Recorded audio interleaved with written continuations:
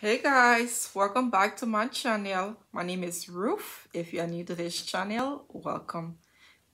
To my old subscribers, I'd like to say thanks so much for always coming back to support your girl. In today's video, I will be discussing some tips for first-time home buyers.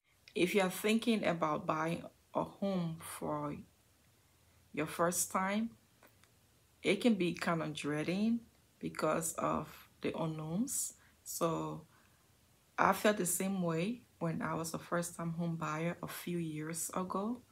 So when a subscriber of mine asked that I make some contents on buying home in Georgia, I thought it best to not limit it to just Georgia because I suppose that some of my subscribers are from other states and not just Atlanta, Georgia.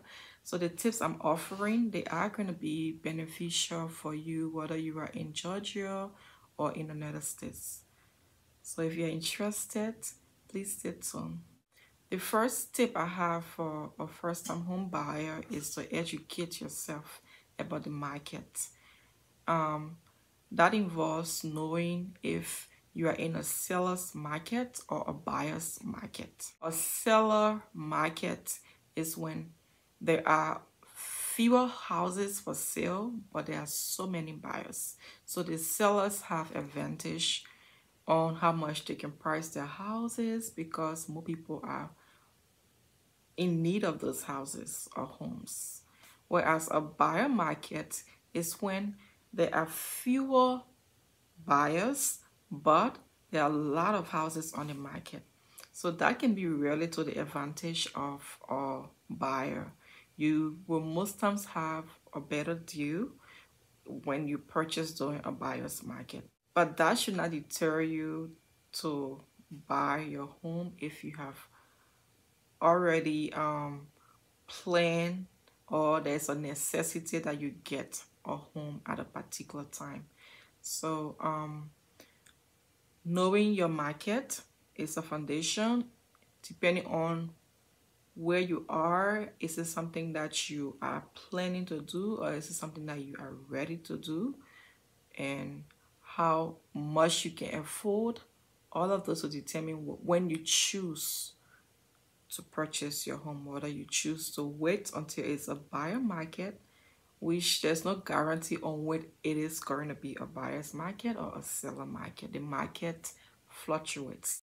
You also need to learn a little bit about the neighborhood or the community that you choose to or you are interested or intending to purchase your home in. Is it a neighborhood with little to no crime? Does it have the school system close by? Are you even interested in it having a school system close by? If you are a family person, you have children of school age, that might be something you will be looking for? Does it have um, amenities close by, like libraries close by to the location you are um, interested in purchasing your home? Does it have hospitals close by? Does it have shopping malls close by? Those kind of things. So you need to look into it. You need to research, go on Google, like put in the neighborhood and say, um, maybe for example a shopping mall close by or walmart close by to that area you will know like what you have close by. Or restaurants. Some people who normally eat out will need restaurants that are close by to them. So it's of easy access to them. So those are things you need to consider that you need to educate yourself about. And you also need to know the pricing of the houses in that neighborhood you want to purchase because pricing is very important. Pricing will help you know if it is within your budget or not. So you can like the community all you want and if it is not in your budget, you may not be able to purchase it. You want to go on sites like Zillow or um, Trulia those different um, mortgaging um, sites that tells you at least approximately what houses go for in those neighborhoods will give you a general idea. Most time the prices are not too far from what you see on those sites. So once you have gathered your information about the neighbor who you're interested in, the next thing you need to focus on now, which might have even been your first thing you will be doing is to put your um, finances together. But the reason I talk about doing your research about the neighborhood first of all and knowing because if you research your price of the neighborhood that you want to potentially move to or buy a home for the first time it will give you an idea on how to prepare now for the second step which is putting your finances together you need to be saving some money to be able to put down to purchase your home a lot of people including myself may not afford to buy a home cash down. So you still have some financial expenses to make, but at least it will be less than if you had to save for a whole house to purchase cash down. So that's a good side. But to qualify for having a home or owning a home that you did not pay for cash down, you have to put your finances in order because that's how the bank is going to see if you are qualified enough or you are able to pay back a loan that they're going to give you in order for you to have this home as your own. So you need to put some um, measure in place to be able to save some money that you will need for down payment or you need to see if there are any kind of down payment assistance that you can qualify for. Maybe you are a veteran or you choose to purchase your home in a rural area where sometimes you have a loan that is called USDA where you don't have to put much down. Sometimes it's like 0% down. But all of those things you need to know. So that's why you need to do research research research is important. You need to know what you're getting into. Some documents that you will need to get together as you're preparing yourself um, besides you trying to save up some funds will be your tax return your w2 and you will need pay stop. You're going to need um, some bills payment and stuff like that to prove that you are competent, you pay your bills on time, and your tax return for at least a period of two years. Some lenders will ask for at least two years or more, but two years is most times the um the minimum that they do ask for. So yes, you need to start gathering those documents. You also need to have some copies of your bank statement. They will like to see your financial transactions and know how you spend and how much you're earning. And a suggestion that I will make personally is that if you are thinking about um, purchasing a home, you need to try to cut down on spending, on how much you are spending. You need to cut down on um, going and taking out loans for things like furnitures or just maybe taking or buy a new car if you want to purchase a home. Because those things will like reduce your credit score. And that's another thing i was going to make mention of. You need to work on building a good credit score. It plays a lot of part in how much your interest will be on your loan, how much you can qualify for, those kind of things. So your credit score, if you don't already know, is very important, especially in the United States. Most times when you have a good credit score, it helps you, it gives you an edge on getting your loan. Even if you do not have physical cash with you a lot of physical cash with you, having a good credit score goes a long way. So I mentioned earlier that you need to research and know the prices of home. After you do that, you need to sit and look at your income and see how much you are making and how much home you think you can afford before even venturing into applying for loan because most times when you apply for loan they give you a higher amount based on how much your gross income is. Your gross income is not your take home pay. Your gross income is what you earn before your take home pay, before they deduct taxes and all of that. So you want to actually budget the, your purchase of your home based on what you are bringing home minus your daily expenses. That's the best way I can put it for the layman. Know how much you're bringing home, how much you bring home monthly that bounce into your account, minus how much you are spending on important things, things that you cannot cut out of your um, daily living expensive. You need to subtract those. The difference, then you can look at that and see how much home can I afford. And please try to stick to that range. Give yourself a low and a high range. Like how far can I go?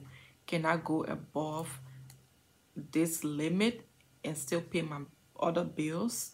You need to consider those before you even go to apply for loan. Because I'm saying this, usually when you go in and you have applied for a loan and they give you a higher amount, you would think that, oh, well, I can be able to buy that house that I really like. Yes, you can because the bank is going to give you that loan. But at the end of the day, they expect you to pay it back to them. And whatever your monthly payment is, you don't want it to be something that you are so stressed about paying or that you can barely afford. You're not going to enjoy being in your home. You don't want to purchase your home and it becomes a burden to you. Because that's how most people get into the trap of getting into homes that they um, could not afford. And then after a few years or even less than a year, you see sometimes they lost their home because they cannot make up with those payments. So you need to be realistic, know what you're really earning and how much you're able to spend when it comes to your other expenses and your housing. So when you're looking for homes, you there are different types of homes that are available on the market. You want to decide whether you want to live in a condo. Condo are most times homes that are built and join together, different units join together. Your neighbor's house is like stuck to your wall. He's he or she is just a wall away from you. Is that where you want to live, or do you want to live in a single family home where you have a little yard space somewhere where if you have kids or you just need your privacy, you have kids, they can have a, enough room to play around or some people the reason they choose to live in condo.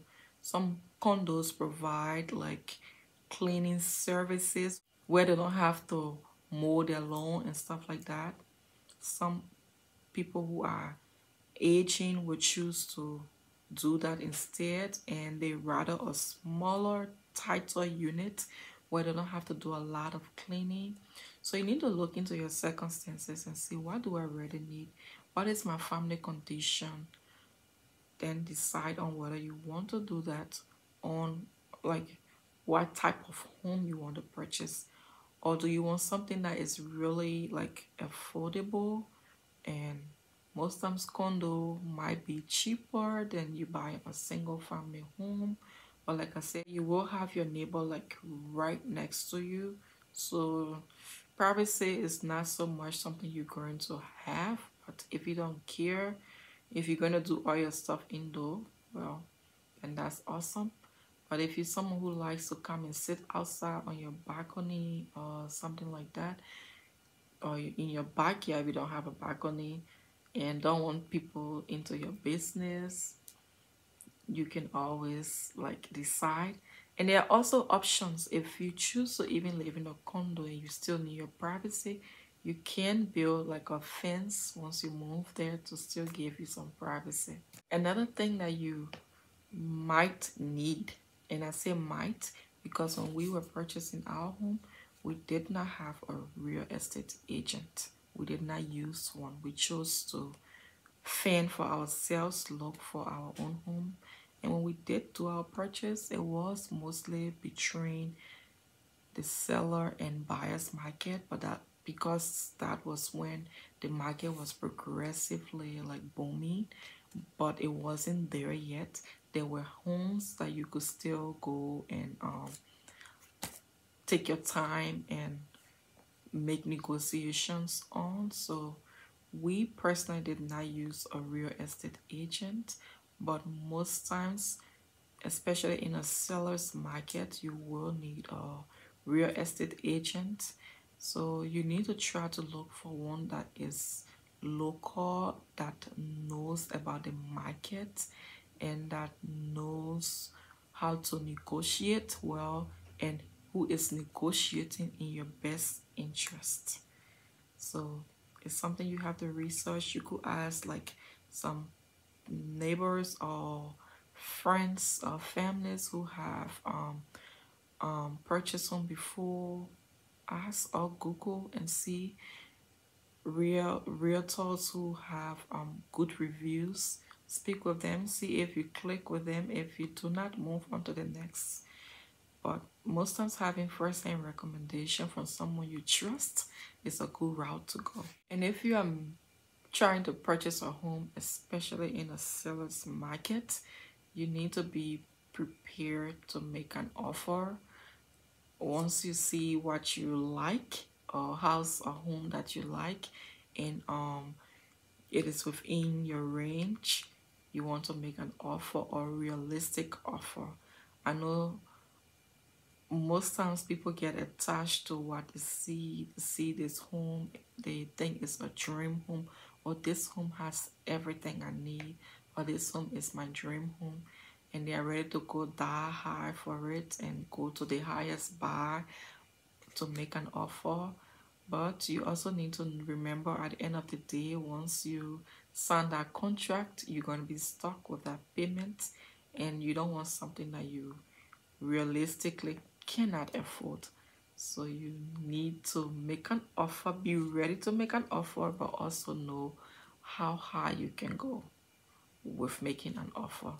So it's if you're in a seller's market, most times it is a tendency to make a high offer to beat other competitors who are trying to get the same house you are making the offer on, but also know your limit. That is what I would suggest. I would honestly say please try your best not to get attached to any house. The house is not yours yet once you're still into the process of getting it. It's not yours yet. So do not get too attached to a house that is on the market because that's how people make wrong decisions. So try, it's okay to like the house you're going to buy, but it's not the be it and end it all. There will always be a house on the market for you. There will always be something else for you. So do not be too attached to it so that you can be able to be in the right mind to make a very informed decision. You also need to know your priorities or set your priority. You need to know what you need in a home and you need to be flexible. You need to find out like what are things that you can or cannot do without. Like us when we were purchasing our home, I personally really wanted a garage, a house that has a garage. And that was if the house did not have a garage that goes into the house, that was a little no-brainer for me. But we did not care about having like basement or things like that. Some people will want a basement. Some men will like to have a man cave or will want to have a basement that they can use for like an investment property and stuff like that. So what are your must have in a home that if that home doesn't have it you're not going to purchase it? You need to write those things down and know it. And what are some things that if it does not have you do not care about it? Like some houses may not have a balcony or a deck or something like that do you mind if it doesn't have it? Can you still go for that home? Some people like like open concept living space where they can see from their living room to their kitchen from their kitchen to their living room. Do you mind having a wall between your living room and your kitchen? Or is it no bueno for you? You need to also know that so those little things like how many bedroom you like to have do you need guest bathroom in your home? Those kind of things. Are you someone that entertain visitors a lot? Those things go into place to deciding whether you choose a certain type of house or you choose to let go of certain things that the home you are looking at may have or may not have. Another thing that goes in line with knowing your priority is knowing if your main point is about the pricing of the house or certain futures it has. So are you working on a tight budget or even if you're not working on a tight budget, you may have money, but it doesn't mean you have to spend all on a house. So um, are you looking at a certain price range or are you looking at amenities that the housing or that neighborhood provides for you? And once you have found out those information about your likes and dislike and your neighborhood you want to choose to purchase your home in, and you have a realtor or you choose to do your own market research on your own, now you need to um, try to apply for loans and see what you are qualified for to know how much you're able to actually be able to buy. So you will have to get those documents handy now like I may mention earlier after you have prepared them you have them ready so that once your lender requests them it's available because you don't want to start the process and then once they start to ask you for like some bank statement you don't have it some bills you don't have it it's pretty frustrating because it's a lot that goes into making this purchase Another important thing that comes into purchasing a home is your source of income. Yes, having money is one thing because I know sometimes some people may have assistance from families to purchase a home. There is a limit on how much families can assist when it comes to purchasing your home. And even with that, it's not something they can just go and withdraw money and just give it to you um, they will have to make a note or a letter that prove that they are assisting you and also shows show proof that they earn that money as well. And you as well as you are saving make sure that your actual income a tip that i would suggest if you are getting funds from families to um, spend on your purchase of your home, I would suggest that you use those funds for your daily expenses and keep or save your actual income that comes from your source of employment. Because that is what they are looking at when it comes to income you're going to spend on your down payment especially it needs to be funds that you have earned it cannot be funds that a friend gave you I did not know that when we were going into um, purchasing our home. So you need to know all of that. You need to have funds that um, are from your pay stop. That's what you need. And if someone chooses to give you some funds, they have to document it. You need a proof that was given by this person. And that funds also need to come from a legit source from that person. Another tips for first time home buyers is when it comes to applying for loan. You can apply to multiple lenders, but you have a time frame when it comes to whether your application affects your credit score because if you are checking your credit score multiple times in different time spans, it does affect your credit score. And that is why at the beginning of this video i made mention that you need to cut down on expenses on um buying stuff on credit like going to buy furniture on credit. Every time they you purchase something on credit they do pull your credit score. So when it is done with outside of a 30 days period it does bring down your credit score. And when you're buying a home you do not want to mess with your credit score. You want to keep it as high as you can.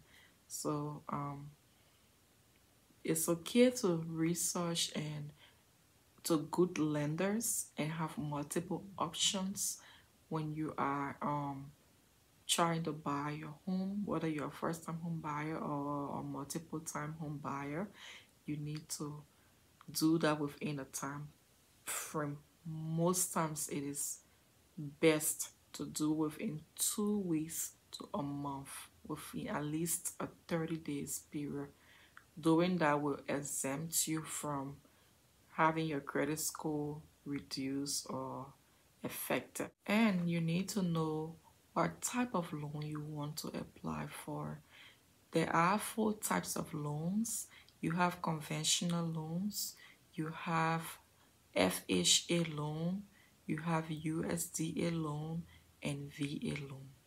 So VA loan is for veterans, those who have worked with the United States Army, they do qualify for that loan most of the time to get some assistance. And most of the time, from some research I made just out of curiosity, they are giving very low down payment or sometimes zero down payment because they are veterans. They have fought for this country, and so that's their benefit. That is a form of appreciation to the veterans and you have the USDA loan. Say you choose to purchase a home in a community that is in a rural area. You don't care about living in a big city and you just want somewhere quiet to stay and enjoy your life, you know, enjoy your new home. People who choose to purchase home in rural areas do have that available to them. You have to Google and see if your particular state or community force or your intended state or community provides the USDA loan, like which parts is covered by the USDA loan. So you can research that and once it falls within that, you can always apply to see if you do qualify for it. But there are some things about the USDA loan that are kind of restrictive and I will talk about those different types of loans in another video so that this video is not so long. But I just have to throw out there that those are loans available to you. You have the most common type of loans that people use are the FHA loans and um, the conventional loans. So most times for conventional loans you need to have like 5% put down. And for the FHA loans, sometimes it's like 3.5% or lower. So like I said, I will make a separate video and go dive really into it and you will know why I chose to do that. So when you're purchasing a home, you need to have some funds saved not only for the home purchase, the down payment, you also need to have some funds at least for emergency in case something happens when you move into your new home you do not want to spend all your money on um, the home purchase and you move in there is a situation and you don't have money to um, deal with it you want to have something saved up it does not have to be a lot of funds because um, that's a question some people uh, see or even I had do you need to have like a lot of money to purchase a home? No. Like I mentioned earlier, you just need to know your budget, see what kind of market it is. Is that market right for you? And um, have some funds at least for your down payment, depending on where you're purchasing, whether you fall under the USDA or whether the USDA really even makes sense for your future plans. That is why I said I'm going to make a separate video on the types of loans you could get. So having some funds, even if it's like a thousand dollars or higher, it's good to have some emergency funds. Another thing to consider is do you want to buy a new construction home or or an older home? You need to decide on that. And things to consider when um choosing whether to buy a newer home or an older home are sometimes older home will need some repairs are those repairs within your budget? And there'll also be unknown repairs that you do not identify when you are purchasing. Even if you did an inspection on that home there are some things that would definitely be missed. So are you prepared? Do you have funds lying down somewhere where in case you move into that home and there is a situation that you, you're able to take care of it? And if not is buying a newer home a better option for you to give you some yourself some time to be able to live in it for a little while before major issues starts to pop up. Those are things to consider. So yes um those are some tips that i have for a first-time home buyer. If those tips were helpful to you leave it down in the comment section and if you have any other additional tips that you think will be helpful to someone who is a first-time home buyer, definitely leave it down in the comment section. This channel is here to impart knowledge, um, to learn, to grow, to motivate, to inspire. So yes, if you have suggestions on more other contents you'd like me to make, definitely leave it down in the comment section and I am going to make time to um, talk about it, put in my two cents, like what I know about it. Yeah. Thank you all so much, you guys, for your love and support. To all of you who come on here to support me, I really do appreciate you all. I don't take it for granted. I really do appreciate you all, and I am continuously going to do my best to bring out content, amazing content to you guys to keep you guys entertained, to keep you guys informed. Yeah. So until next time, you all have a very great day. Bye for now.